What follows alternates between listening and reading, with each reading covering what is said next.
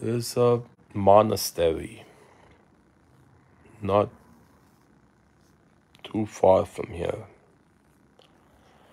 uh, but hidden amongst hills.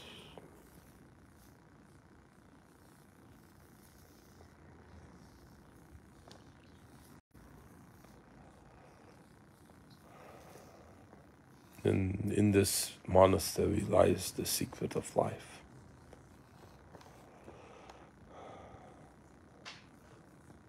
Not so well hidden secret of life because I'm going to speak it to you now.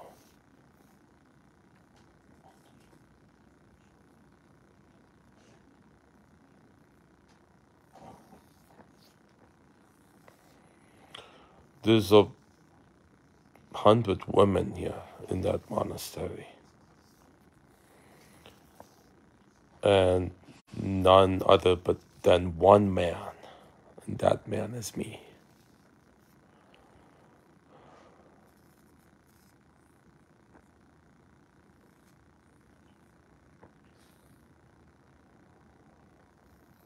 And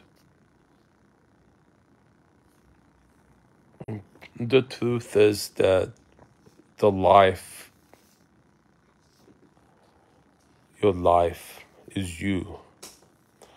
Now, there's a difference between knowing this cognitively, intellectually, feeling it, and then being it. Being the people in your life, being your life. Is not limiting who you are to to the, the individual that bears your name. And then you see, therefore, if there's unrest in your life, that it emanates from you, that it is you.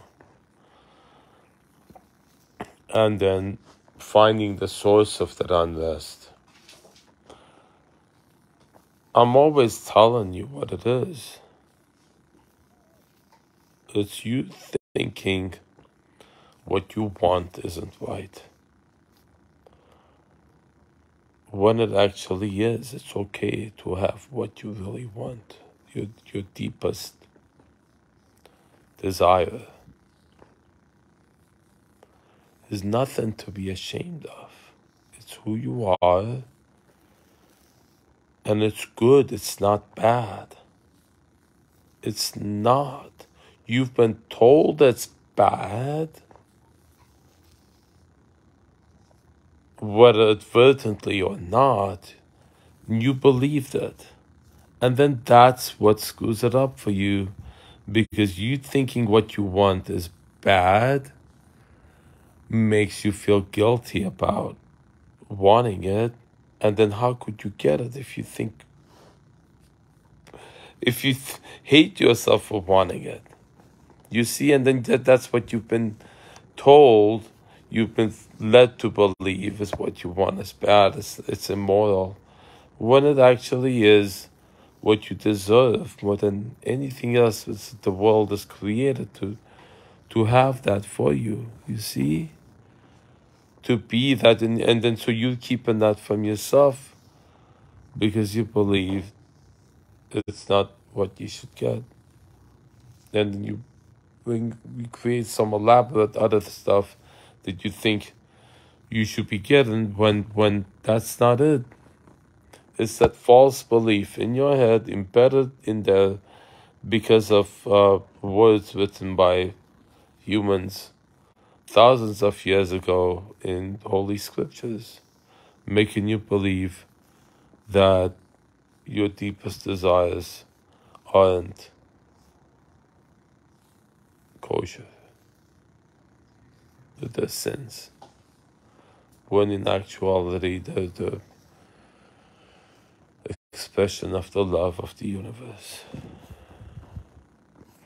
And or even you may know that intellectually, but the fact that the, the, the setting you in, the, the culture, the whole world believes that, that also would make you punish yourself for wanting it and and then that would create the crisis that you self create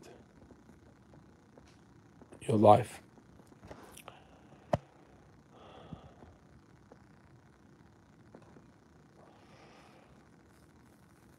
Meeting, fulfilling your deepest sexual desires allows you to access the deepest source within you. So if you're not getting that, that's what blocks you from who you are. You understand that? You neglecting your deepest sexual needs, thinking that the wrong prevents you from accessing who you are, the core of who you are. And you allowing yourself to receive the gift of life.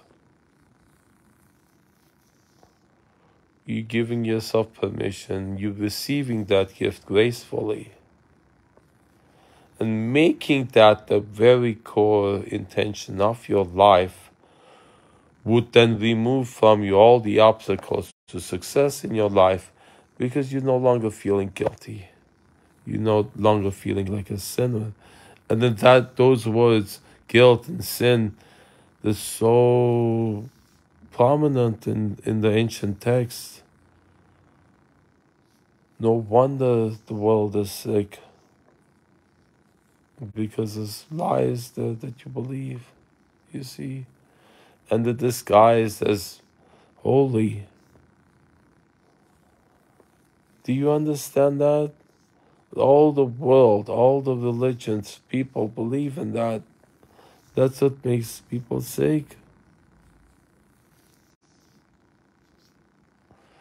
And so, making that your intention to have your deepest sexual needs fulfilled regularly, sustainably, having in your house the the the woman of your dreams, the partner of your dreams, fulfilling your desire regularly, sustainably, uh, um, um, just very accessibly. You know, it's just there all the time. Making that your intention and then you protest that, and it's because of false belief you have. Making your intention to have that at, at the core, have your core sexual desire be fulfilled. That has to be at the center of it. That Maslow's pyramid of needs, that must be at the very core of it. And you knowing that, you make that intention, and then and then willing to accept that putting aside all cultural restrictions on, on sex, which are false, then will, that will have you access your deepest parts of who you are, which is all that is, which is everyone in your life. And you would have not conflict in it anymore.